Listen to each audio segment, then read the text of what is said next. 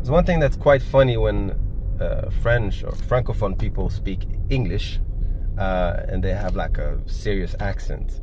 Because um, it's a general law in the French language regarding the, the letter H. So you don't really pronounce it. H is a silent letter, right? So, um, but it's funny because most Francophone people would place the H where there's no H and, you know, mute the H where there is an H. I give you an example.